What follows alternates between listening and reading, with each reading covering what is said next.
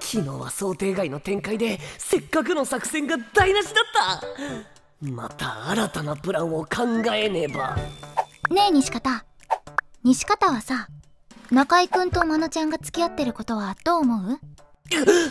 この質問はまた俺をからかおうとしているのか？あの二人いい感じだよね。うんそうだねたまに真野さんからすごいオーラを感じることはあるけど。なんかいいよね。ああいうの。高木さんもやっぱり恋愛とかに興味あるのだろうか。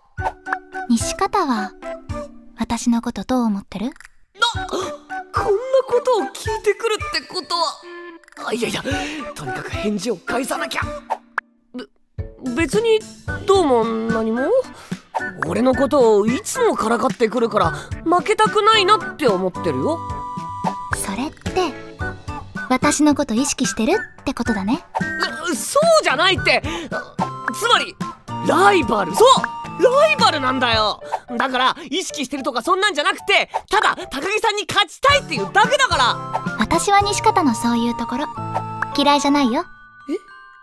それって？そうだこの間送ったデータ音量を上げてもう一度よく聞いてみて。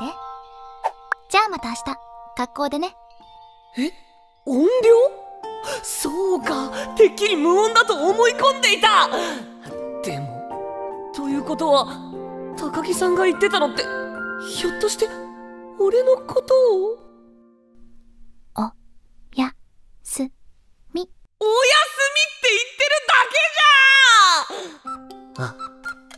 そういえばここ数日ずっとお休みって高木さん言ってなかった？